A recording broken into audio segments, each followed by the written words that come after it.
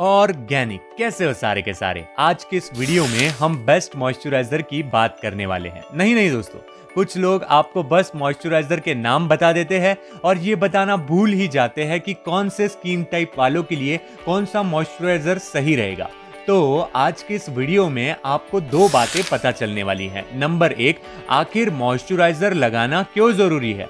और नंबर दो, आपके स्किन टाइप के हिसाब से कौन सा मॉइस्चराइजर आपके लिए बेस्ट है? तो आइए पहले जान लेते हैं कि आखिर ये मॉइस्चराइजर को लगाना इतना ज़रूरी क्यों है।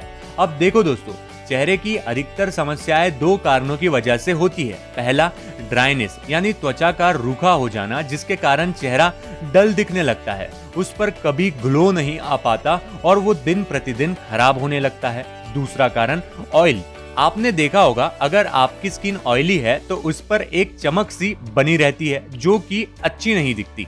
और जब स्किन एक्सेस ऑयल को प्रोड्यूस करती है तो धूल, मिट्टी आकर उस पर चिपक जाती है और हमारा चेहरा फिर एक्ने और पिंपल्स को जन्म देता है, जिसके वजह से हमारा चेहरा और खराब होने लगता है। हम्म अब समझे और चेहरे की ऐसी समस्याओं से बचने के लिए एक अच्छा मॉइस्चराइजर हमारी बहुत हद तक मदद कर सकता है। तो आइए शुरू करते हैं एक अच्छे मॉइस्चराइजर की तलाश। अब देखो दोस्तों, मैं आपको आपके स्किन टाइप के हिसाब से कौन सा मॉइस्चराइजर आपके लिए बेस्ट रहेगा ये बताऊँगा। तो उसके लिए पहले हमारा स्किन टाइप्स को जान लेना बहुत ज़रूरी है। अब देखो दोस्तों, जो फेस के स्किन टाइप्स होते हैं, वो पाँच प्रकार के होते हैं। नंबर एक नॉर्मल स्किन यानी ऐसी स्किन जो कि ना ज़्यादा ड्राई हो, ना ज़्यादा ऑयली हो।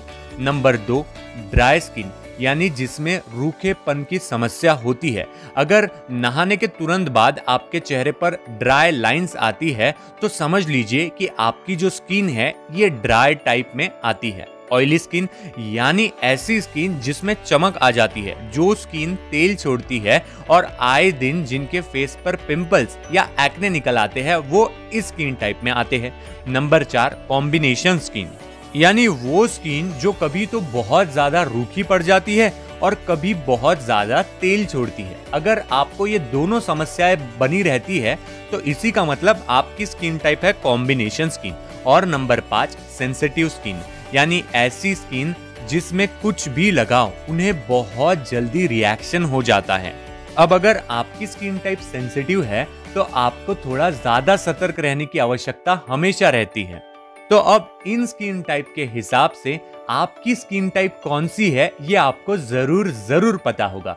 तो आइए अब जानते हैं मॉइस्चराइजर कौन से बेस्ट है इन सारे स्किन टाइप के हिसाब से। तो नंबर एक, अब अगर आपकी स्किन ड्राई है तो आपको ऑयल बेस्ड मॉइस्चराइजर की ज़रूरत पड़ेगी। तो बात करते हैं बेस्ट ऑयल बेस्ड मॉइस्चराइजर की।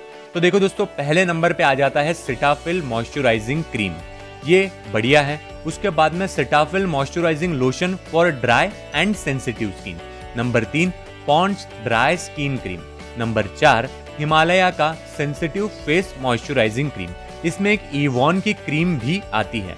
नंबर छह Clinique moisturizing surge intense cream अब अगर आपकी स्किन टाइप ड्राई है तो इन पाँचों में से कोई भी ऑप्शन आप सिलेक्ट कर सकते हैं. जो भी आपको आपके बजट में लग रहा है, उन्हें आप ले सकते हैं। लिंक्स आपको डिस्क्रिप्शन में मिल जाएँगे, वहाँ से आप सस्ते में भी खरीद सकते हैं। नंबर दो, अब अगर आपकी स्किन ऑयली है तो आपको वाटर बेस्ड मॉइस्चराइजर का इस्तेमाल करना होगा।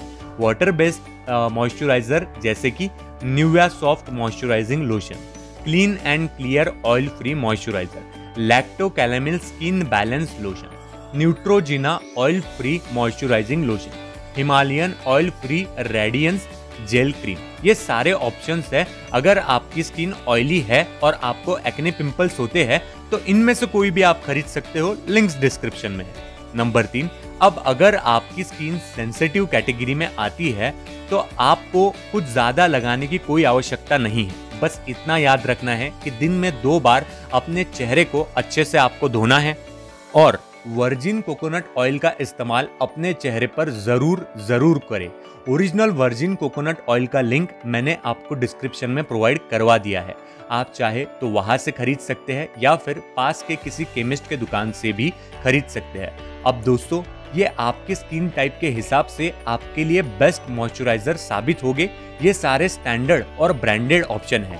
मैंने आपके लिए बहुत मेहनत से ढूंढे थे। दोस्तों, किसी कंपनी या ब्रांड से ऑर्गेनिक यू का कोई भी संबंध नहीं है। मेरी पूरी कोशिश मेरे देश के लोगों को सच्चे मन से मदद करना है। उम्मीद है छोटा सा प्रयास आपको पसंद आया होगा। अगर वीडियो में कोई भी बात गलत या बुरी लगी हो तो मुझे माफ़ कर देना। और अगर इस चैनल पर आप नए हो तो प्लीज़ यार, इस चैनल को सब्सक्राइब करे बिना कहीं भी मत जाना।